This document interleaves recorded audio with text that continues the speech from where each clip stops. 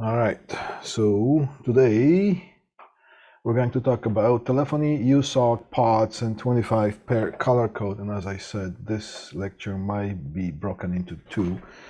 We might be able to carry it on. Let's see how we're going to do with timing, okay?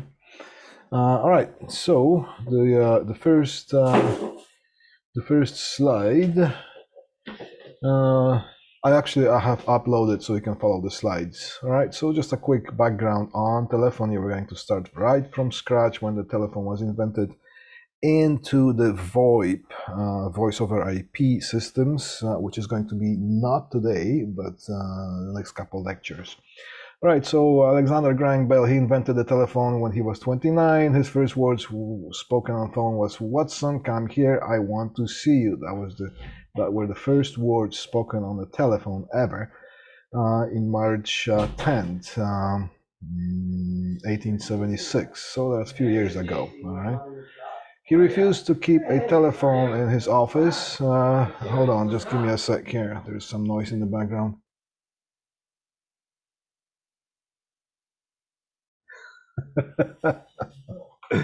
All right. Uh, he refused to keep a telephone in his office. In his view, a telephone was a distraction. Now think about that. Uh, how far have we gone with that idea here, right? So the guy who invented the telephone, he didn't even want to have a telephone on his desktop in his office because he thought it was a distraction. Uh, think of that next time you log on to Facebook, for example, or something like that. All right. Uh, okay. So what inspired him to invent the uh, this I'll call it a contraption. Uh, his mother Eliza was hard of hearing. Speech pathology was of his interest since the early years of his life. And if you want to have some more info, you can click on that link, or you can just uh, research thing on his own. Research this uh, this uh, wonderful individual, uh, the, the wonderful inventor, um, on your own. Uh, it's actually a fascinating story. That and Tesla as well, and other names. Okay, so let's just keep going here. Uh, this was the first telephone. That's this is what it looked like. Uh, it had a uh, thing on the cradle here. Uh, so this would be a mouthpiece, the microphone, uh, and the receiver. You would put that to your ear. All right. Um, so uh, so that's basically was a commercial use of that.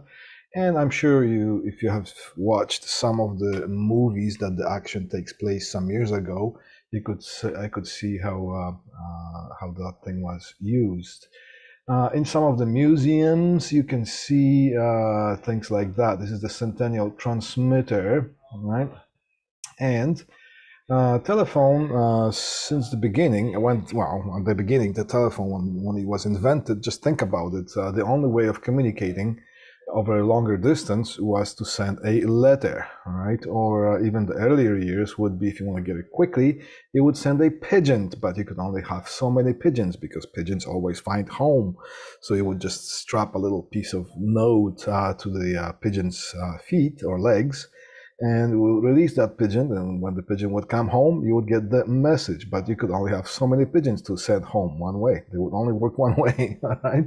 Uh, so um, now when uh, when uh, when something like that was invented uh, a telephone it was a big deal because all of a sudden you could communicate over a longer distance and using voice um, as opposed to a telegraph which we're going to look at that. So it was a, such a big deal that there were movies made on how to well not how to because there was no youtube there were movies made uh, about talking on the phone right? So here is the actor portraying alexander graham bell in 1926 silent film this shows first telephone transmitter microphone okay invented in 1976 and the first displayed centennial uh, exposition in Philadelphia. Now I uh, I kept looking, I kept looking and googling and uh, researching, and I can't find the name of that actor that uh, that used to uh, uh, that that was playing that role. Notice one interesting thing. The face of this actor is quite bright right here. and if you look at the back of his neck, it's a little bit darker. Um, and that was the earlier way of making movies or uh, making films. Uh, the media was not as good as today. There was no digital technology then. Uh, it was just a film, and it uh, the the uh, the quality of the film um, well, was okay then, but if you compare to the quality of the f- film or the media today, it was not up to par as uh, as it is today. So, anyways, uh, how did they make those? Uh, you know, they needed some contrast. So, uh, just as an interesting side note, uh, those actors used lard to smear on their faces, uh, so it would reflect the light better. So, uh, you know, think of that when you uh, when you see a kissing scene uh, from like 1927 or something like that. That thing would reek of lard, I think. okay. Anyways, March 10, 1876, Alexander Graham Bell successfully telephones Thomas Watson for the first time. And again, how big of a deal was that? Look, this guy is wearing a suit and tie and he's being photographed using a telephone. All right. So, and then uh, if you look at the expression on his face, uh, he felt really cool using that thing. All right. And of course, there will be public demonstrations. People would dress up as if they went to church and you know suit and ties and uh, and they would go and watch the uh, watch somebody use a telephone um, to communicate over a long distance using voice. All right now co co is a terminology uh, that kind of stuck with us till this day. Uh, it's a popular terminology. Co stands for central office uh, central office uh, in the early years were just uh, were just a bunch of switchboards uh, that would um, mm, uh, that would use humans to switch the telephones. right now, what you do is just dial the number and press the send button, and the whole thing happens by itself automatically. Before, um, there was no, you know, the technology was not as advanced as it is today. So you needed uh, uh, human in, uh, in, uh, human uh, interference in in order to patch telephones to the right persons. Now the uh, the small small town um, telephone exchange would look like this right here, where there will be a telephone operator and this here that's sticking from her chest right there that's a microphone and of, of course he's wearing the uh, the headphones in order to communicate with the people who want to make a telephone call. So the popular thing, uh, well, now, uh, if you have a stationary telephone, you pick up the phone, you hear the dial tone, okay, uh, like a continuous sound. Um, now with, your, with our cell phones right now, you don't even hear that. You just punch the numbers and press send button. But before that, uh, whenever you picked up the phone, uh, there will be a light that would light up on the switchboard. And uh, the popular thing to hear at that time was number please. Okay? Uh, so whenever you picked up the phone uh, put it to your ear you would hear number please. Okay? So um, you know in, in some of the smaller towns uh, people would know other people by name. So you would say can you connect me to mrs smith?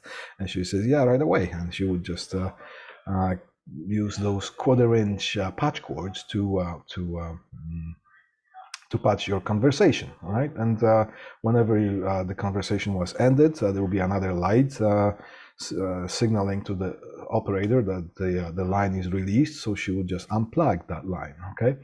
So in, in the bigger cities, things would go a little bit larger. So there would be a bunch of, it was a popular job, especially for women there in the earlier years. Later on, guys also participated in that it would be uh, this would be a larger city uh, telephone exchange or central office or CO. Okay, so keep that in the back of your mind.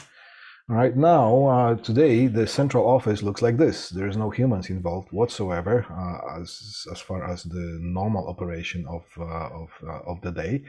Um, you know the humans would interfere when needed when you know, service was service is needed and stuff like that. So this is basically a computerized system or computer network, right?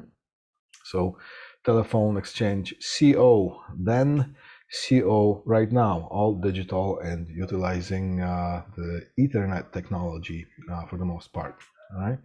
Now the tech stuff, uh, the uh, um, uh, the operation was quite simple. Uh, basically, there would be a, an electromagnet, and I'm pretty sure you have studied some of the magnetism. If not, you will.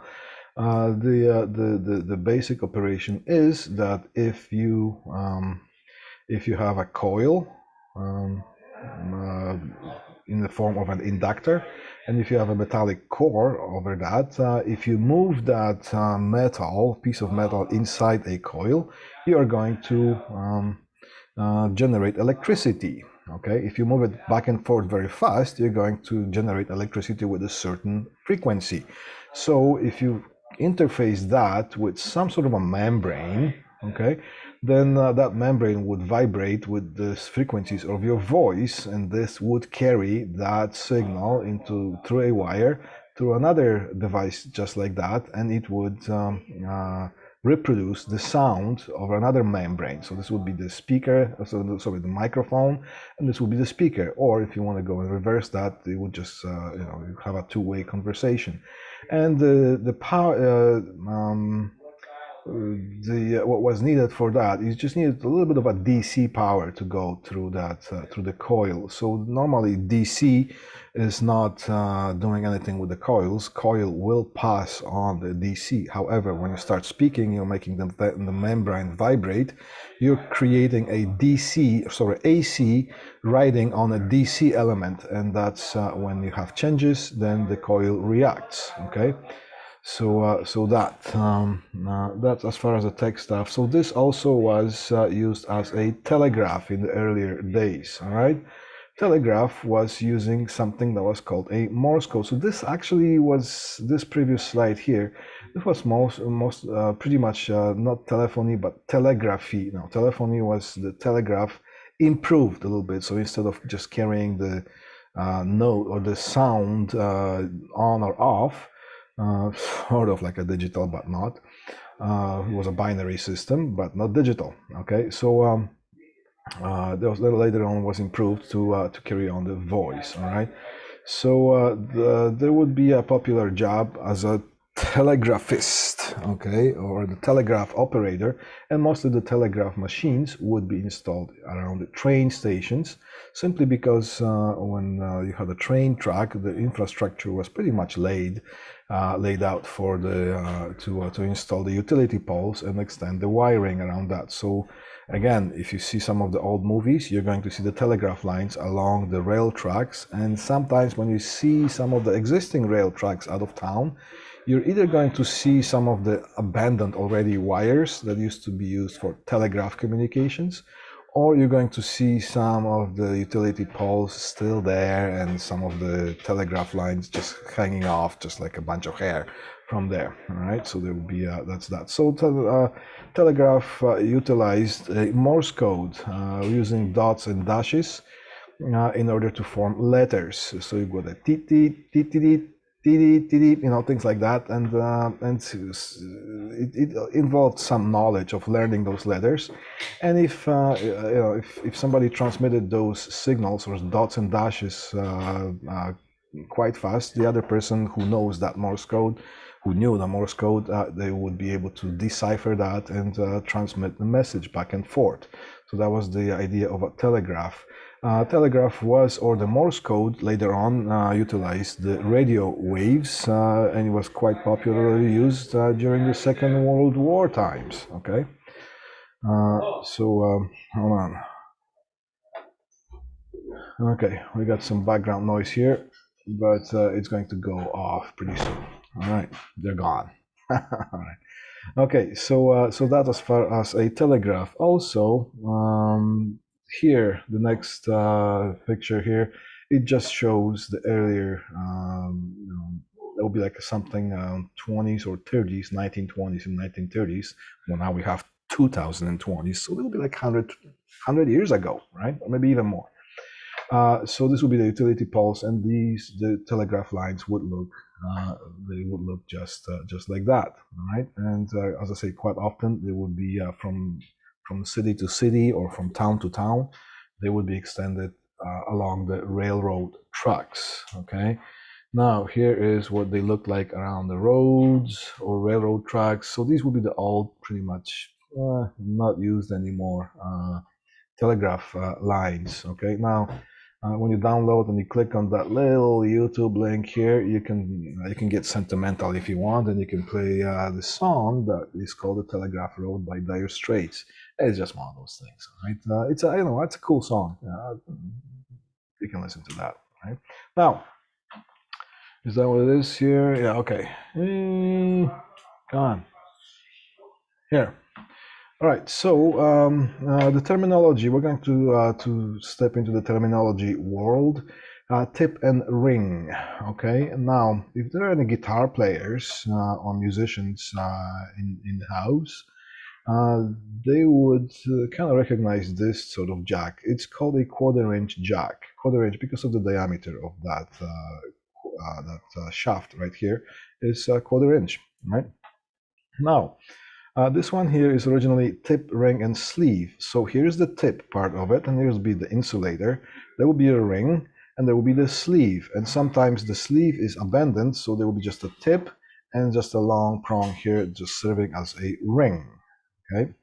Um, now, uh, pretty much music industry is the only thing that's using that. So you would, you would use that kind of a jack to plug into your guitar input or output uh, and uh, and uh, carry on with the with the sound. All right. So uh, and then our tip ring and sleeve they would be correspondingly correct, connected inside to the appropriate terminals, and uh, they will carry the signal here. Now, uh, tip and ring is still the terminology is still being used in the telephony, simply because. Um, um, in the earlier years when I showed you that picture of the earlier telephone exchange, these would be the patch cables that would have this type of endings on and uh, and uh, they would have tip and they would have ring. Okay, now uh, here's the thing um, tip and ring. Okay, uh, okay, let's just uh, go here. Ring would be minus 48 volts, and the tip would be um, basically positive with reference to the ring. So, when you're plugging in your guitar, for example, if you have just a tip and ring, okay, so the ring would serve as sort of like a ground reference, and the tip would be positive, would carry the signal, would, ref- would be positive with reference to the grounded or the ground reference uh, sleeve uh, or ring terminal. Okay. Uh, now, um, when it comes to telephony, you are util- we are utilizing the most uh, basic telephone system would be uh, the most basic telephone service would be the POTS, which stands for plain old telephone service POTS. Okay, uh, so the two wires are uh, one is a ground reference and one is a signal, or one is a reference and one is a signal. Uh, the terminology carried over. So when we talk about when we are talking uh, the technical jargon when installing telephones and having anything to do with the telephone installations and service, we are still calling those two terminals tip and ring, although they have nothing in common already with the physical shape of the quarter inch jack, still the terminology just carries on.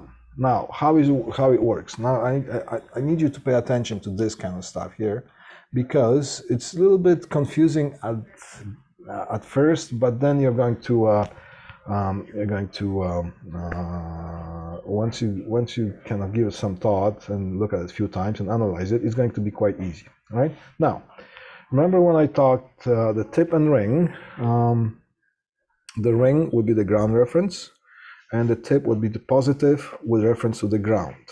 That's when it comes to carrying a music signal in music uh, industry, electronic signal representing music. In telephony, it's the same thing However, it's things a little bit different, right? Originally, it was also that way, right? So there would be the tip and ring, the the ring would have the ground reference, and it would be equal to the ground or the grounding, the earth ground. The potential would be equal to the ground. And then the tip would be positive with reference to the ring. So the ring would be at the ground reference, and the tip would be positive and would carry the signal. Uh, before long, uh, it was found that uh, there was a problem with the telephone lines or the telegraph lines extending from town to town on the utility poles. They would corrode a lot. Okay, so uh, somebody came up with the idea: what if we just uh, um, reverse the polarity somehow? See if we could uh, see if we could prevent the corrosion. So here's the ground.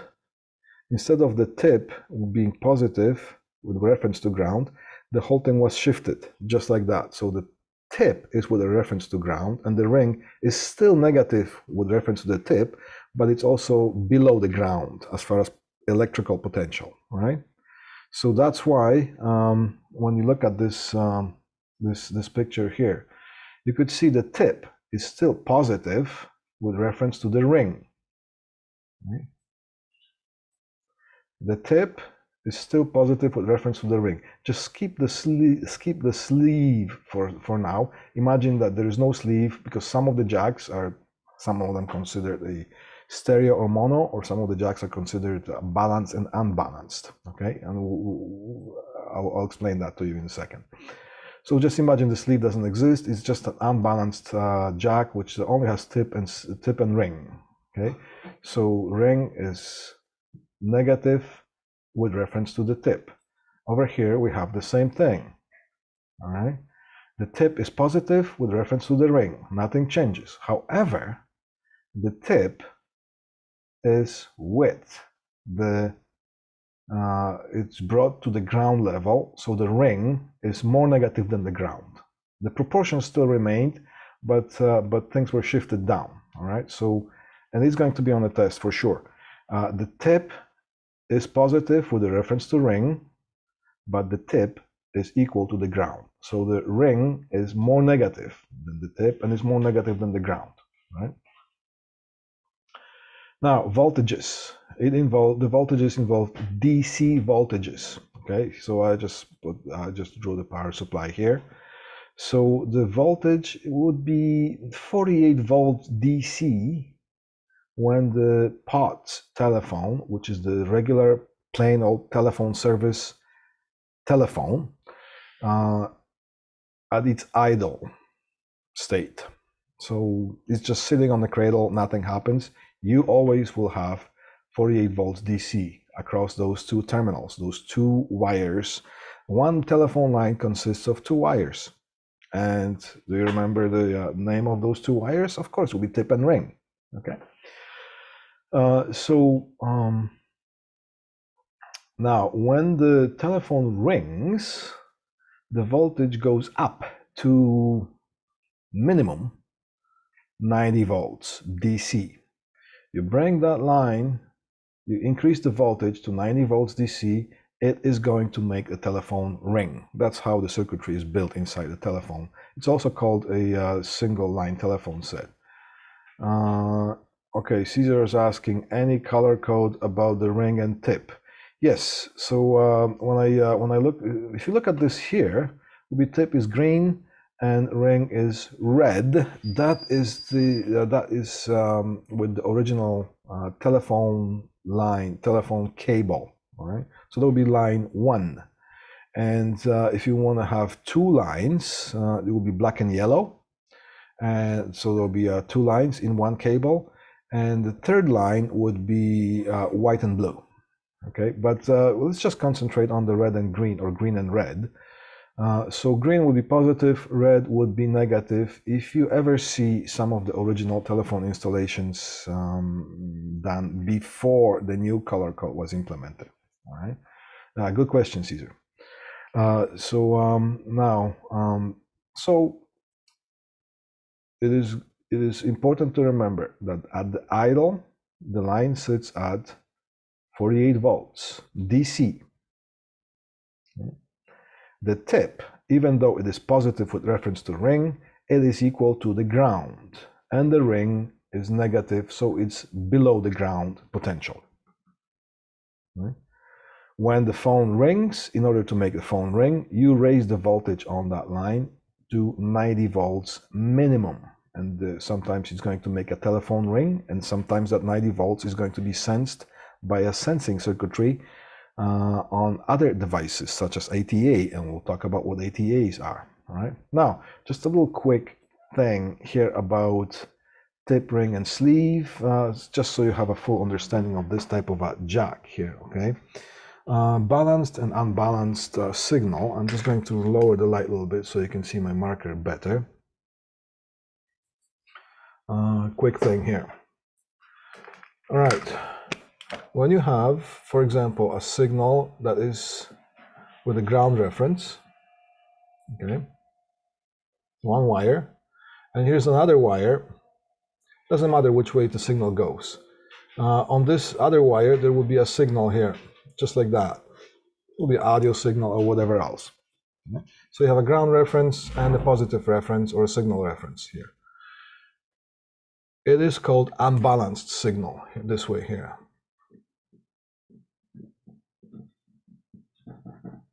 Okay, now, now when we go to something that's called a balanced, you're going to have three lines, three wires. One is going to be the ground reference. And then there's going to be negative wire, negative signal, and positive signal. And in order to send a balanced signal, you're going to have a signal going on the positive side. Plus and minus, positive sign, side. And you're going to have a 180 degrees inverted signal. I'm going to try to do this this way here. just like that. So those two signals are 180 degrees out of phase, right? Uh, and that is the only way that whatever receives that signal is going to see it as a signal. It's uh, you can research if you want something that's called a differential amplifier. Right? That is going to recognize that and only that as a signal. The signal has to be completely 180 degrees out of phase then it's going to be recognized as a signal. If, so what's the advantage to that? Well, uh, okay, so here is balanced signal here.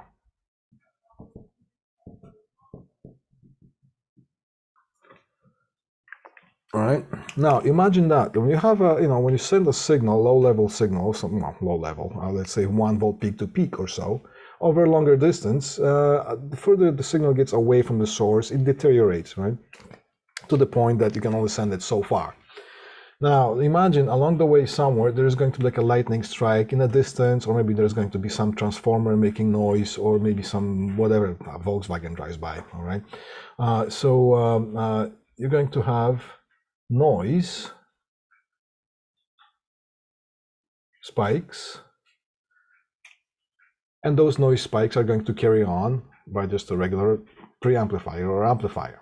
Now, if you have a balanced line, if something creates interference, you're going to have spike here and spike here.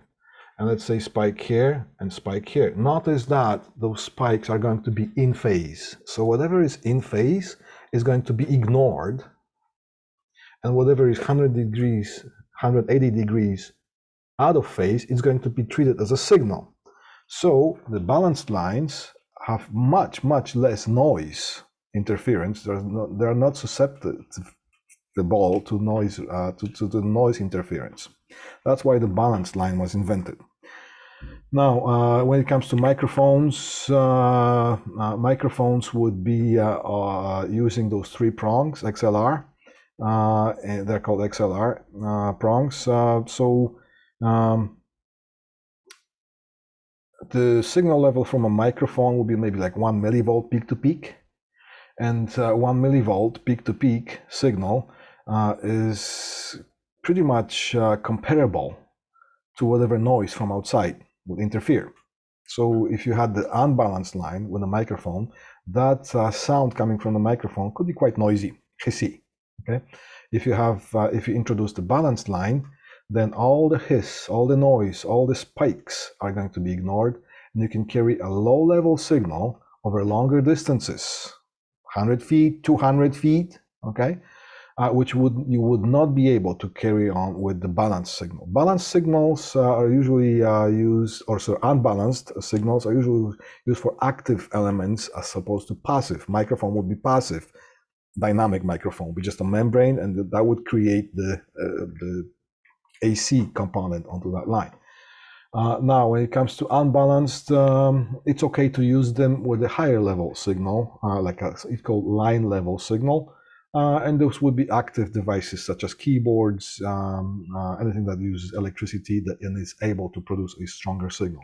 So here's the balanced and unbalanced uh, signal. The telephones are using the unbalanced, uh, the regular pots are using unbalanced uh, signal. So here is, uh, now of course the unbalanced would implement tip and ring. So this would be the ring, this would be the tip, okay? Now I forgot which was uh, tip ring and sleeve. Uh, so this would be uh, okay. This would be tip. This would be a ring, and this would be the sleeve. Okay. When it comes to, uh, but uh, uh, I'm gonna verify that. Right? For yeah, for if it was the for for music industry. Okay. usage. All right. Now, so here is the difference between the balanced and unbalanced signal. How are we doing with time? We still have some, we have still have a few minutes. Yes, we're going to break those that lesson into two, probably. Okay, USOC. Okay. Not USAC, but USOC. USOC stands for Universal Service Ordering Code.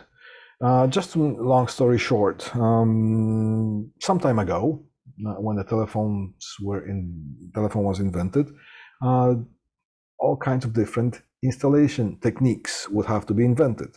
Different companies would install their telephones within the area of operation, and they would use their own technology. They would use their own size of jacks. They would produce their own type of uh, terminals and things like that. So from company to company, things would be incompatible, mostly for the physical, you know, due to the physical differences. Right? Later on, uh, some that universal service ordering code was uh, implemented. That uh, you know what, let's just uh, get everybody on the same page because this is happening too much. Uh, the telephone uh, systems are the telephone service is getting too wide let's standardize some ways. All right. So, uh, so universal service ordering code was implemented, and we'll talk about that in a second here. Uh, and uh, RJ terminals. Okay, RJ jack or RJ um, mm, RJs. right? because RJ stands for registered jack. And for example, here you can see RJ11 you can see how many prongs. One, let's just zoom in a little bit. How many prongs do we see here? One, two, three, four. So this would this RJ11 would be able to carry two telephone lines because it has four prongs. Now RJ12, for example, is uh, similar. Uh, basically, physically uh, looks the same, but it would see there's those empty slots here for the prongs it would uh, use one, two, three, four, five, six. All six prongs would be used, or six slots would be used for the prongs. So that RJ12 jack would uh, be able to carry three telephone lines, three POTS lines. And again, POTS stands for plain old telephone service. All right, so that's uh, that's what the telephone jacks look like. Now let's take a look at the next slide. Now we have the USOC configuration for RJ registered jack wiring configuration here. Right? Here's the old system, here's the modern color code. You still can see both, all right? So I just want you to know the color codes. The red and green, all right?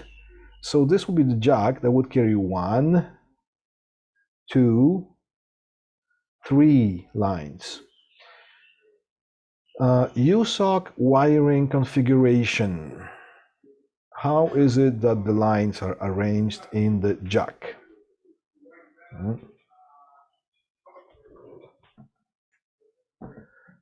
It's different from the T568 configuration, which will be the data. And uh, some of us already have performed the lab using the um, jack and the plug. that has to do with the data. And I want you to know the differences between the USOC and something that's called T568 configuration. USOC is a little bit simpler, not much, but a little bit simpler. And the Ethernet used T568 standard is slightly more complicated, but not much. All right. USOC configuration. There's a jack, you have prongs. You have prongs on the jack, right? Line number one, right? Line number two, line number three, line number four. So it'll be a tip and ring for one line number one. Then you go outwards, tip and ring line number two. You go outwards, tip and ring line number three, and so on. Well, usually it will be up to four lines uh, because you can only have those jacks so big. So that's the USOC configuration. Remember that. We just go outwards. And it will be the POTS wiring, POTS or USOC configuration, Universal Service Ordering Code. Yeah. So this is how we have here. You can see here tip one and ring one. And then they're going to be inversed, all right? Just so we don't have the buildup of the DC on one side. Uh, the polarity doesn't build up on one side and the other. So tip and ring, two middle prongs, red and green, or green and red. Tip and ring. Remember, tip is positive with reference to ring, but the tip would be uh, grounded. So the ring will be more negative than ground, right? So here's line one. Line two would be tip one and ring, uh, tip two and ring two, but you see they go, uh, they kind of inverse as far as polarity. Here's tip and ring, and it's ring and tip, and it's tip and ring again. It's like a kind of a sandwiching together, like Oreo cookies. Right? Uh, so uh, then the tip and ring two would be black and yellow. So here's the answer to the question, Caesar. Uh, and uh, and then um, the next one would be uh, blue and white. So now you should be able to tell which ones are positive and which ones are negative with reference to each other. If you put a voltmeter, if the line is idling between the black and yellow, you are going to see that the tip, you're going to read 48 volts at the idle state. You're going to read 48 volts DC between the black and yellow, right? And the black is going to be positive with reference to yellow. If it's a telephone line, nothing to do with data. Don't uh, don't get confused this with the data Ethernet type of wiring. We're talking about the telephone stuff right now. POTS. We are talking POTS right now. Okay. Now, uh, the modern telephone, uh, modern the modern color code right now is uh, this is the 25 pair telephone, uh, 25 pair call, color code uh, that uh, is implementing slightly different coloring of the wires. Right? Remember when we used uh, some of us that have already done the lab Remember, we use the lines uh, blue, orange, green, brown. This will be the first four colors of the 25 pair color code. Okay? So uh, you can use the Ethernet cables to carry the telephone signal. The Ethernet cables um, fulfill more rigorous standards as far as carrying signal without being susceptible to interference as much. You still get a little bit, but not as much as with the telephone, regular telephone cables. Right? They're both twisted pair, and we'll talk about that too. Why pair is being twisted. Basically, uh, I'll just give you a heads up a little bit. Uh, when you have two conductors and you put them in a twist, they're less susceptible to interference and there's less of a chance if you have two of those pairs beside each other there's less possibility of something that's called a crosstalk which means a signal can bleed from one pair to another. So that's why twisted pair was invented again by alexander graham bell that early okay?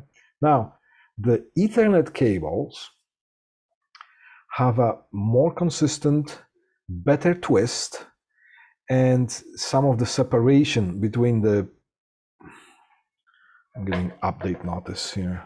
Sorry.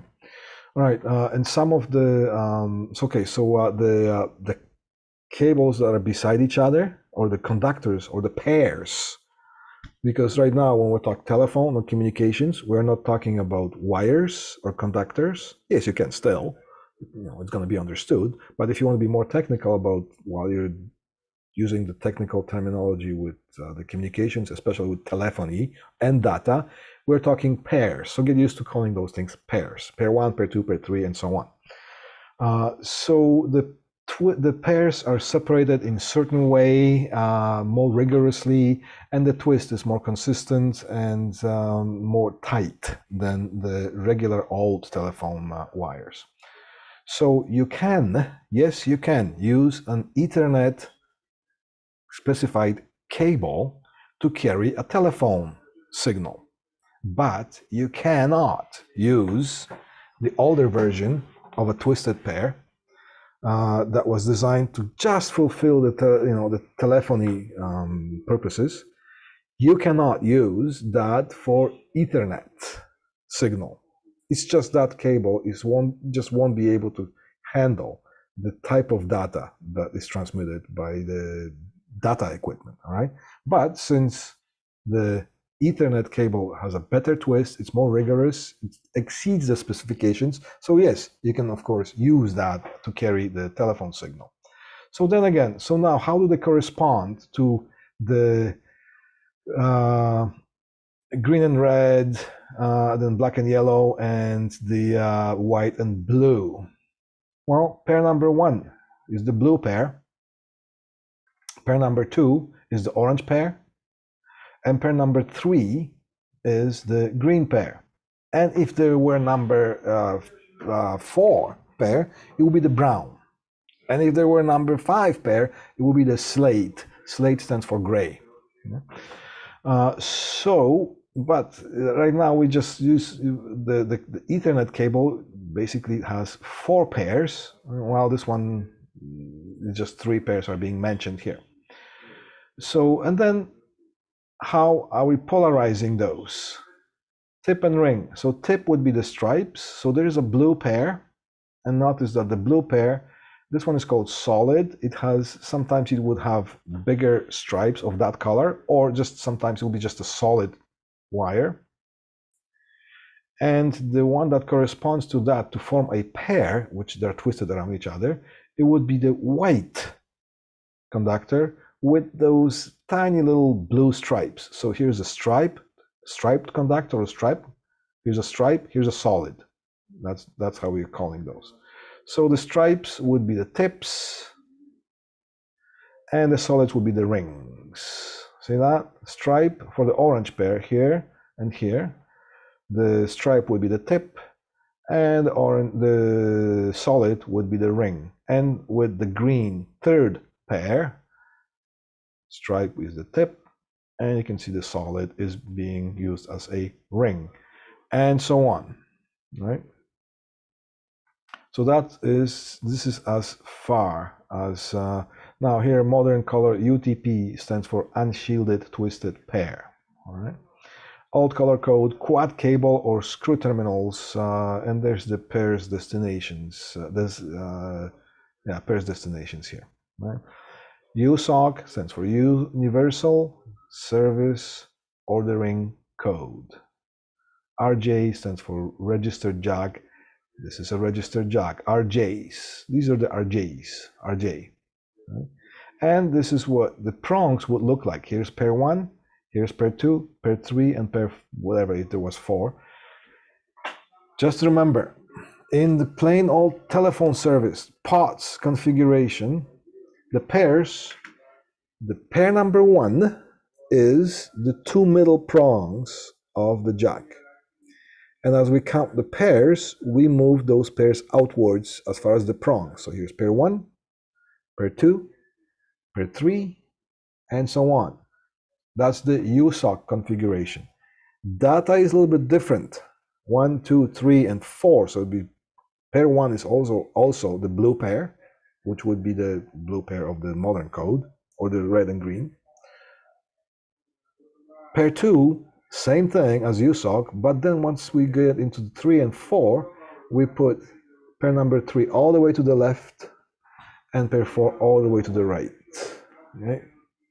But we're not talking about that now. I just want you to I just want you to know that because we are carrying some of the data labs. So uh, you might have some questions about how come we're explaining it this way and how come we're doing it data the other way.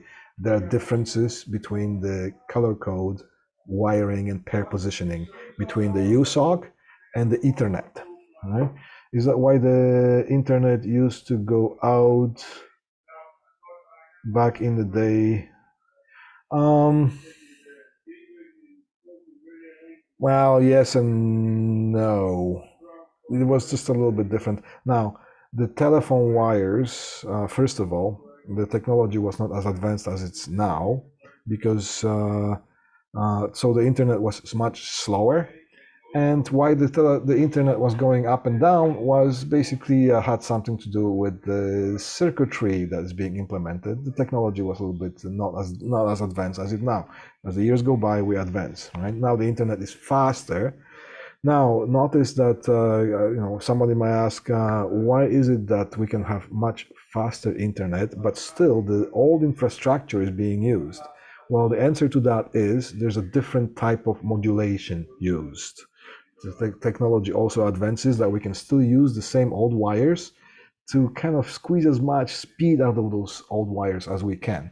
And that has to do with the head end and the receiving end. Uh, the, and, and the key word is the, um, the, the, the, modulation, the type of modulation that's being used uh, to send those wires. We'll talk about modulation as well.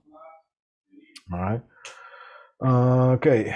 Um, Fiber optics are becoming more common. Yes, fiber optics. We will also talk about fiber optics. Now, um, but that's fiber optics are not using electrical signals to transmit this uh, electricity to transmit the signals. Fiber optics are using light pulses. Mm-hmm. So we'll talk about that as well. Now, here is a typical telephone jack, surface mount telephone jack, and you are going to still, if you if you go to one of the hardware stores and buy just a regular surface mount jack, you're still going to see the uh, cables that are, this is a two line jack. And if it's just a one telephone line, you're going to use the red and green only, right? And they, they, can, they are connected to the two middle prongs. That will be the pair one. If you want to have a two line, if you want to have two lines in that uh, jack, you would utilize red and green, and you would utilize the black and yellow. All right. Uh, now, um, so now, because I showed you the previous slides, now you know how to connect things uh, properly. If you if you uh, run your wiring using the Ethernet cables, using a 25 pair color coding, uh, which we'll talk about too, but the first four colors are blue, orange, green, brown. Five, fifth one would be slate. Slate stands for gray, okay? Uh, so that's this is what, how you would uh, you would connect uh, the blue pair to the red and green, right, and corresponding to the tip and ring terminals, right. If now it's just as a side note, it should be it, you know, for the most part, if it's just a telephone, if you reverse the polarity, the telephone will still work because the telephone apparatuses that's being sold now, they're called single line telephone sets why it's called single line. It, it, it implements single line, all right, one pair, um, as opposed to using two lines. But SL phone, it's the SL stands for that uh, single line. Plus, you can tell by that is that it uses the um, use uh, POTS, plain old telephone service circuitry protocol because there are some other system phones. We'll also talk about later, lectures. The system phones, uh, there could be a Panasonic, Toshiba, Meridian, uh, what other uh, names that sometimes I don't even know. They would be using their own telephone box, their own telephone exchange or mini exchange or local exchange which would be connected to the POTS lines on one side, and on the other side, would plug in the phones that only work with that system. So they have uh, they have something called proprietary proprietary telephone sets, right? But when you're talking about SL, that's a single line set, and that's POTS, right? Now, as I kind of wrote this thing here. Uh, that this is what this is where you plug in the telephone cord, and this is where the wire goes. And it says, can you name jack packages other than surface mount? This is a surface mount box. You put it on the wall, on a baseboard, or whatever. It, you can see it. It just mounts to the surface. What other packages? Well, will be wall mount, right? And the other one will be modular. We'll talk about those.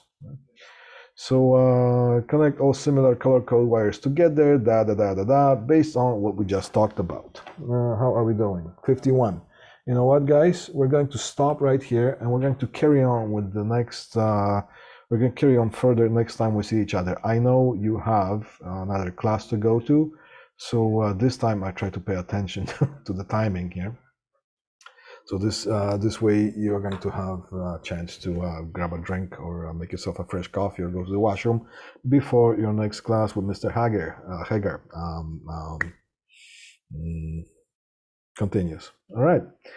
Uh, fiber optic becoming more common now. Yes, they are becoming more and more. Uh, then also the remember we talked about uh, types of media to transmit that transmit signal. Copper, which we just talked about. Fiber, which uh, Austin just mentioned. And the other one is air. What do you think the Wi-Fi is utilizing? It's utilizing air or space radio waves to communicate between your cell phone or your laptop and the WAP, wireless access point, or AP access point, right? or the Wi-Fi terminal. Right? So yeah, okay, cool. Uh, if there's no any other questions, uh, we're gonna uh, terminate this class right now, and uh, we'll see you next time. Um, next time around.